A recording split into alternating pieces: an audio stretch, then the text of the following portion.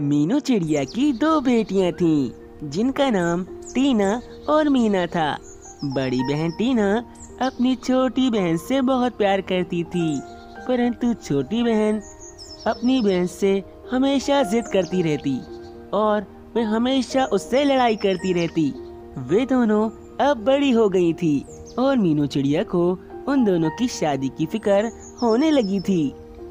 फिर एक दिन तीनों माँ बेटियाँ एक जगह पर बैठी हुई थी। तभी एक कौवी उनके पास आती है। मीनू, मैं दूसरे जंगल से आ रही हूँ और वहाँ मैंने एक चिड़ा देखा है। वह बहुत ज़्यादा खूबसूरत और अमीर है। उसकी तो अपनी एक अंगूर की बेल भी है। मैं तो कहती हूँ, तुम अपनी बड़ी बेटी की शादी उस चिड़े से कर दो।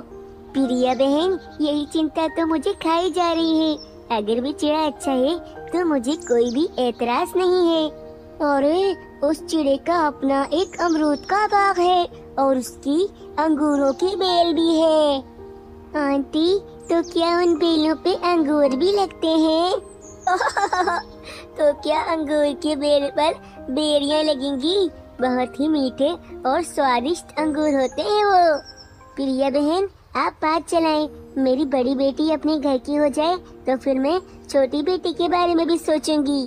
तीनों बेटी जब बेटियाँ जवान हो जाएँ तो माँ बाप को उनकी शादी की चिंता होती ही है। अच्छा मैं चलती हूँ। फिर प्रिया को भी वहाँ से चली जाती है और चिड़ियों को वे परिवार भी वहाँ से अपने घर चला जाता है। माँ मेरी कब से इच्छा है कि मेरी अपनी एक अंगूरों की बेल हो। आप उस चिड़े से मेरी शादी कर दें, बड़ी की शादी बाद में कर देना, माँ। अरे, शर्म करो। मैं पहले बड़ी की ही शादी करूँगी और उसके बाद तुम्हारी शादी करूँगी। बड़ी बहन की होते हुए तुमने ये कैसे सोच लिया कि तुम्हारी शादी पहले हो सकती है? बड़ी बड़ी बड़ी। बस हर समय आप बड़ी बड़ी बड़ी ही करती रहती हैं। ऐसा लगता है मैं तो आपकी बेटी हूँ ही नहीं।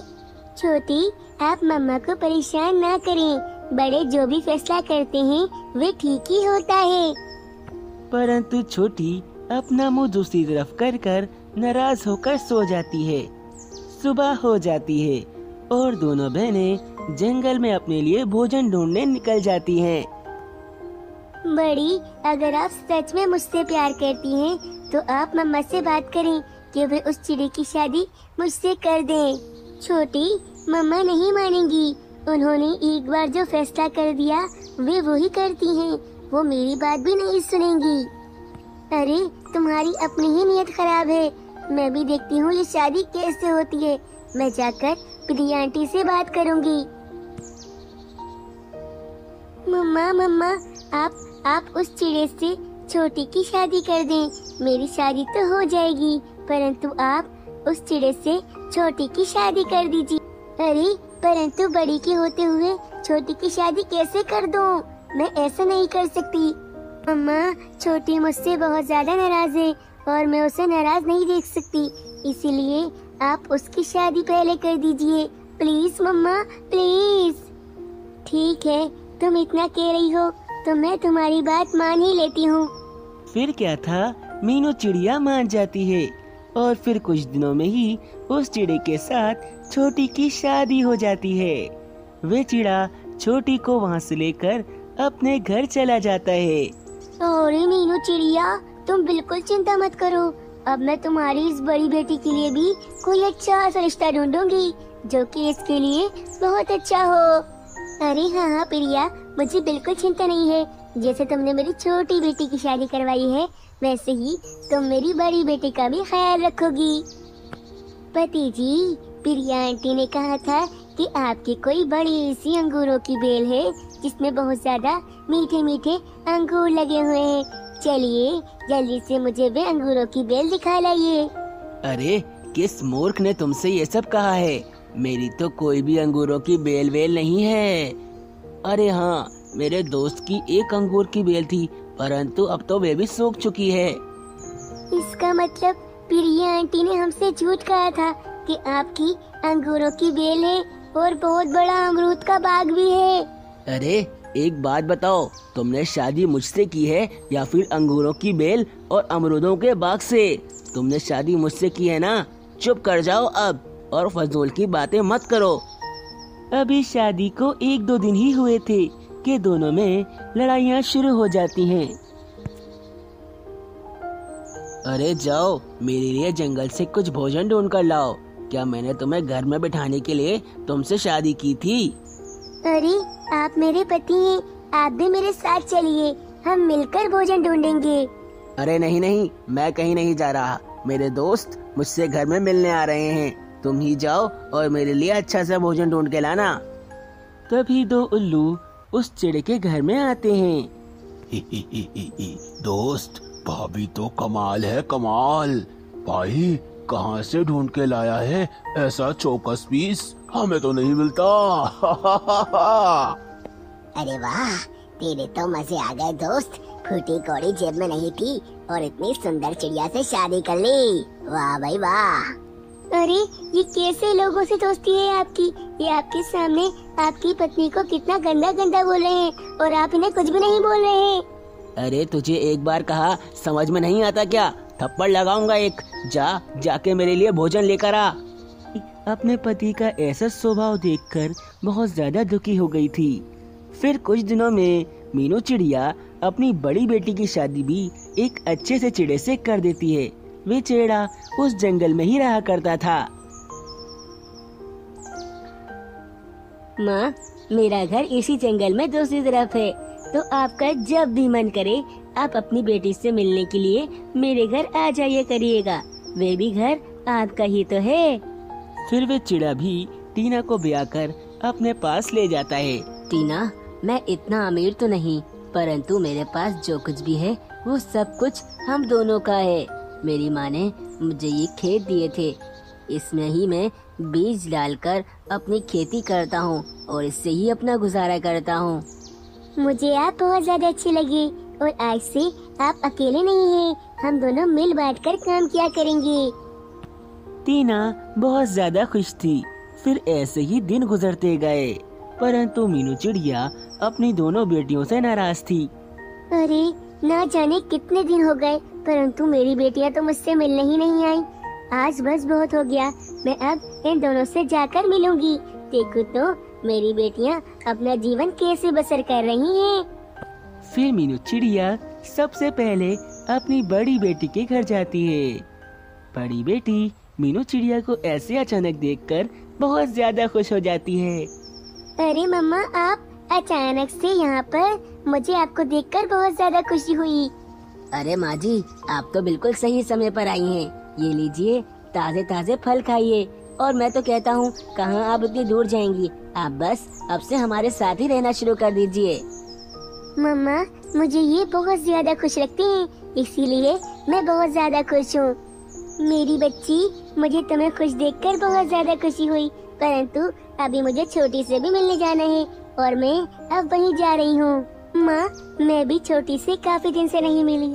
चलिए मैं भी आपके साथ ही चलती हूँ। फिर वे दोनों जब मीना के पास पहुँचे तो वे बेचारी घर के बाहर बैठी रो रही थी। क्या हुआ मेरी बच्ची? तुम ऐसे रो क्यों रही हो? सब कुछ ठीक तो है ना? अपनी माँ को अपने सामने देखकर मीना फ़ौरन से अपनी माँ के गले लग जाती है। माँ माँ मेरे पति बहुत ज़्यादा बुरे हैं। वे मुझे वे मुझे बहुत ज़्यादा मारते हैं और मेरा बिल्कुल ख्याल नहीं रखते। टीना बहन, आप मुझे माफ़ कर दीजिए। मैंने आपसे बहुत लड़ाइयाँ की हैं, परंतु अब मुझे अपनी गलती का एहसास हो गया है।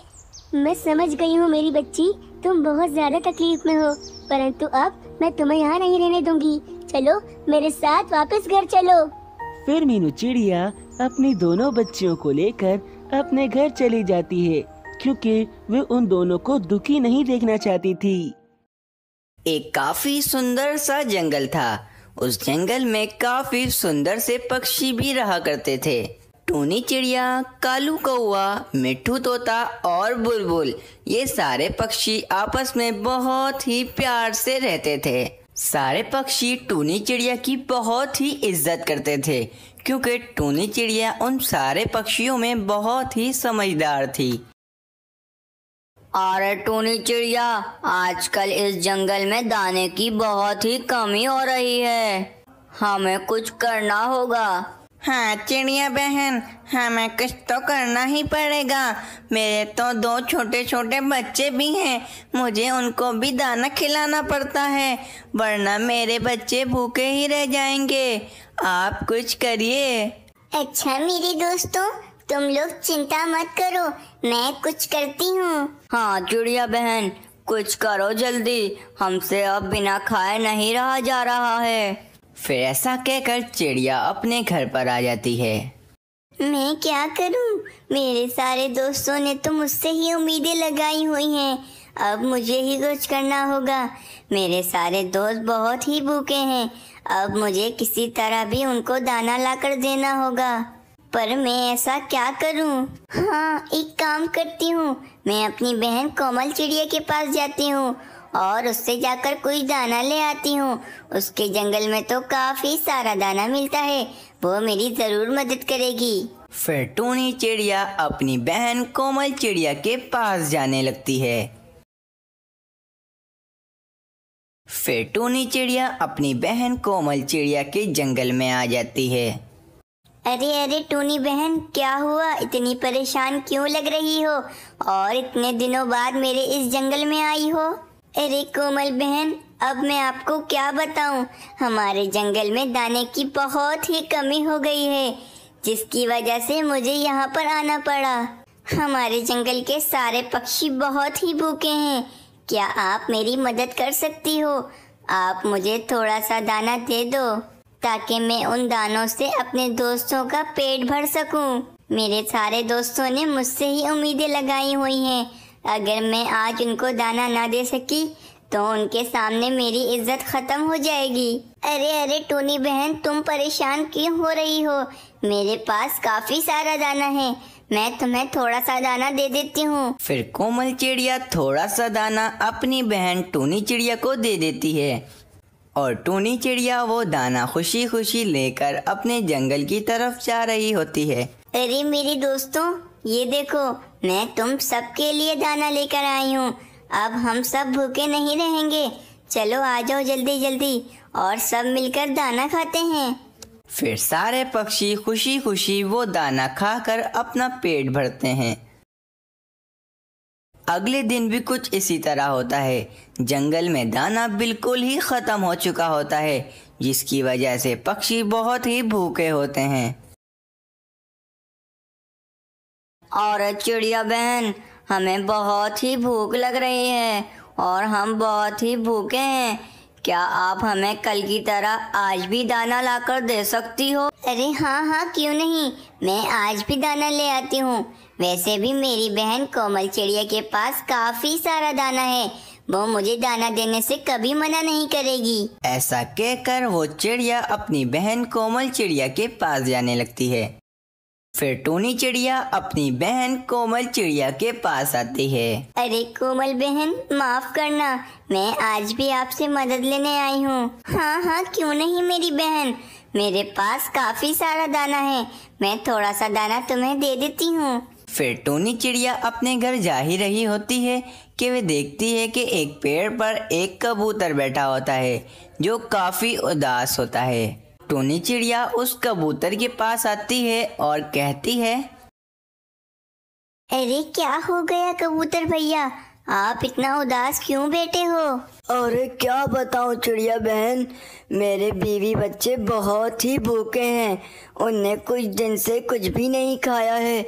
मैं उनके लिए दाना ढूंढ रहा हूँ लेकिन मुझे दाना बिल्कुल भी नहीं मिल रहा है।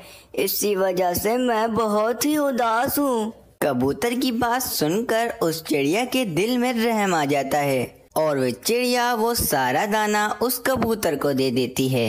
अरे चिड़िया बहन, मैं तुम्हारा बहुत बहुत शुक्र गुजार हूँ।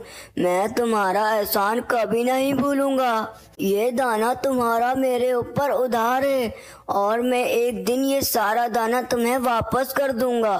फिर चिड़िया उस कबूतर की मदद कर कर वहाँ से चली जाती है। फिर चिड़िया वहाँ से जा ही रही होती है कि चिड़िया को ज़मीन पर एक पिज्जे का टुकड़ा पड़ा हुआ दिखता है। चिड़िया फ़ौरन उस पिज्जे के टुकड़े के पास आ जाती है। अरे वाह, ये चीज़ तो दिखने में बहुत ही मज़े की लगती है। चलो इसको थोड़ा सा खाकर देखती हूँ। फिर चिड़िया थोड़ा सा पिज्जा खाने लगती है। अरे वाह ये चीज़ कितनी मज़ेदार है। इसको तो खाने में बहुत ही मज़ा आ रहा है। चलो इस चीज़ को मैं अपने घर पर ले जाती हूँ और फिर शाम में मैं अपने दोस्तों की दावत रखूँगी। इस दावत में मैं ये सारी चीज़ अपने दोस्तों को खिलाऊँगी। वो चिड़िया वो पिज्जा लेकर अपने घर पर आ जाती है। चलो जल्दी से जाती हूँ और अपने दोस्तों को जाकर दावत का दे देती हूँ। फिर चिड़िया अपने दोस्तों के पास आती है और कहती है और चिड़िया बहन, क्या हुआ? आज तुम हमारे लिए दाना लेकर नहीं आई? अरे दोस्तों, मैं आज तुम लोगों के लिए दाने से बढ़कर लेकर आई हूँ। मैं तुम लोगों के लिए एक ऐसी चीज़ लाई हूँ, जिसको खाकर तुम लोगों को बहुत ही मज़ा आ जाएगा। ऐसा क्या लाई हो तुम चिड़िया बहन। मैं तो उस चीज़ को खाने के लिए बहुत ही उतावला हो रहा हूँ। हाँ हाँ मेरे दोस्तों, शाम को मेरे घर पर तुम सबकी दावत है।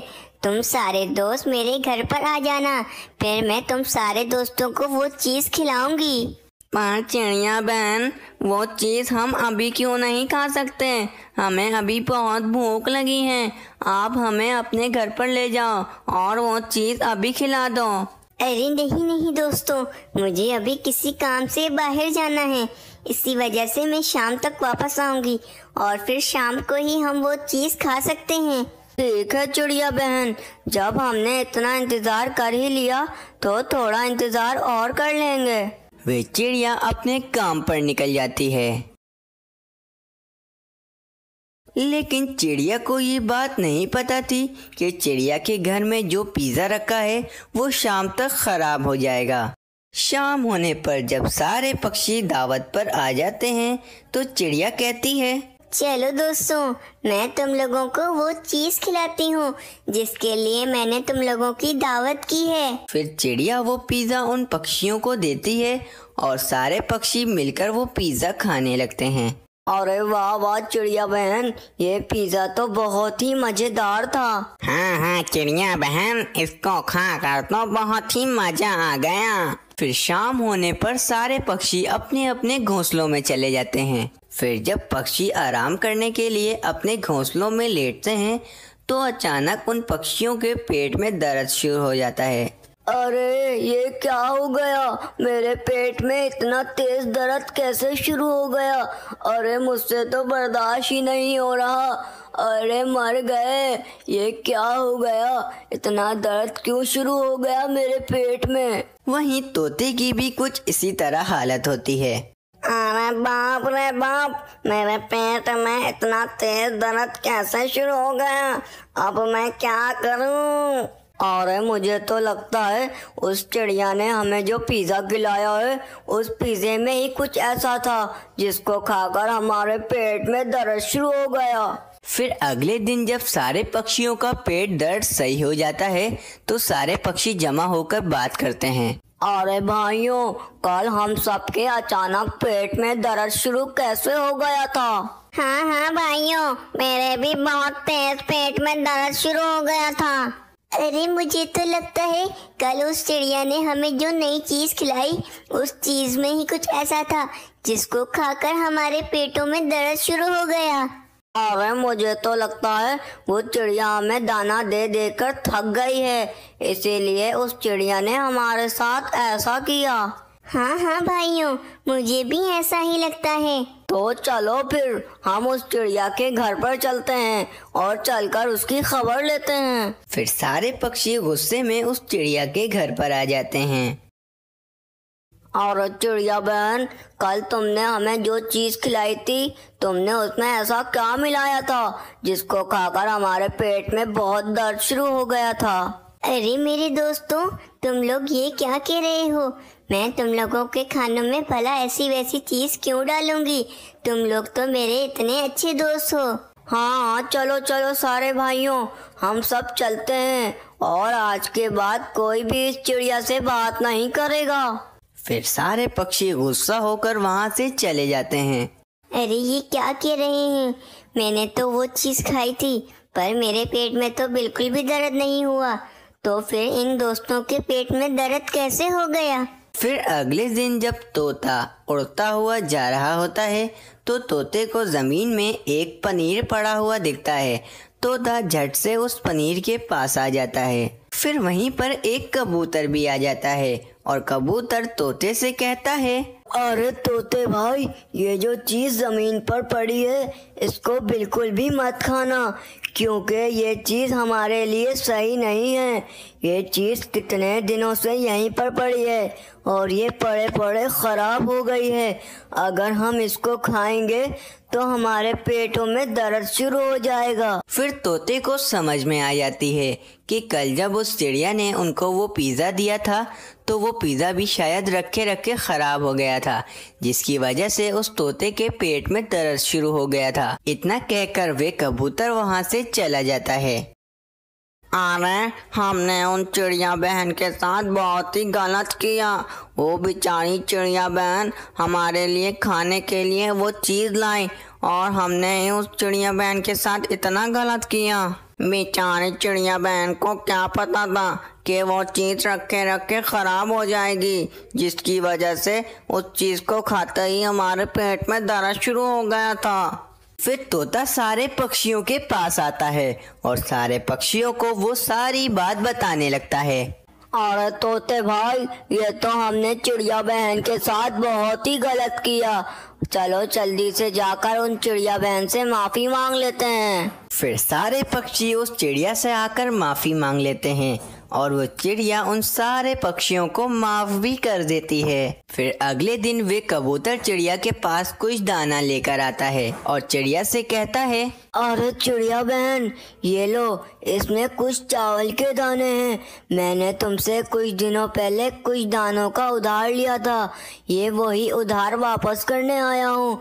तुम ये दाने मेरे से ले लो। इन चावलों के दाने से तुम अपनी जंगल में जाकर फ़सल लगा लो, जिससे तुम्हारे जंगल में अब दानों की कमी नहीं होगी। फिर वे चिड़िया वो चावल के दाने ज़मीन में बो देती है। कुछ दिनों के बाद फ़सल पक जाती है, जिससे अब उस जंगल में दाने की बिल्कुल भी कमी ना थी। इस कहानी से हमें ये सीख मिलती है कि हमें कभी भी बिना सोचे समझे किसी पर भी इल्ज़ाम नहीं लगाना चाहिए।